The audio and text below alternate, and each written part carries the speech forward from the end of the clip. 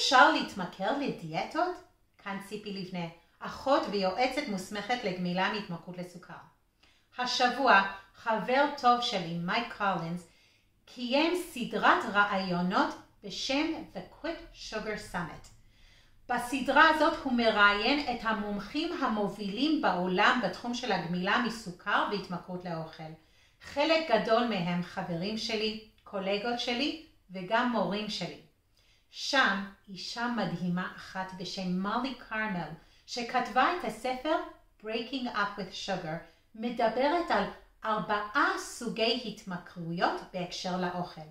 התמכרות לסוכר, התמכרות לקמח, התמכרות לכמויות של אוכל והתמכרות לדיאטות. מהניסיון שלי, קמח זה סוג של סוכר, וכן, אפשר להתמכר לקמח כמו להתמכר לסוכר. לגבי הכמויות, הרבה פעמים אנשים שעושים תהליך גמילה נכונה מסוכר ואכילה ממכרת, הכמויות מסתדרות מעצמן. אבל התמכרות לדיאטות, זאת אומרת עיסוק אובססיבי סביב הנושא של ירידה במשקל ומה מצפים לראות במראה כשמסתכלים על עצמנו, זה כל כך נכון. אני פוגשת כל כך הרבה נשים שהשני קילו שלא הצליחו לרדת בדיאטה, או השלושה קילו שעלו אחרי גיל המעבר או אחרי הלידות, זה מה שעומד ביניהם לבין האושר והרגשה טובה שלהם עם עצמם.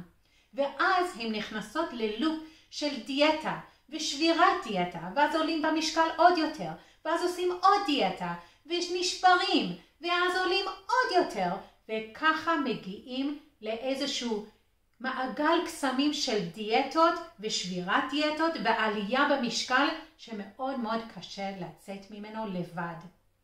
כדי לעשות תהליך גמילה נכון מסוכר ואכילה ממכרת, חשוב לעשות תהליך שלם והוליסטי.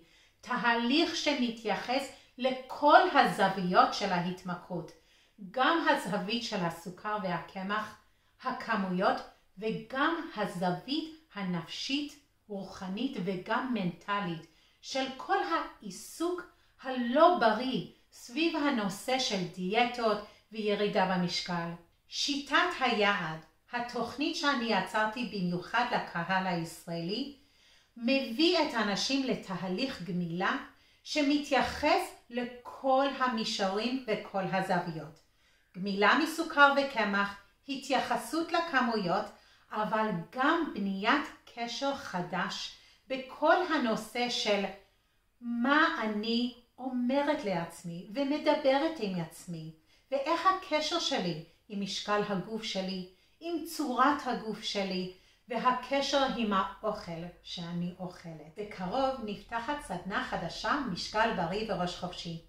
אני מזמינה אתכם לבוא איתי לתהליך שישנה לכם את החיים לכל החיים.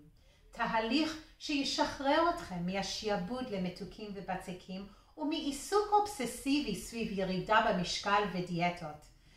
בואו איתי להגיע למקום של שמחה וקשר חיובי ובריא ובונה עם עצמכם, עם הגוף שלכם ועם האוכל שלכם.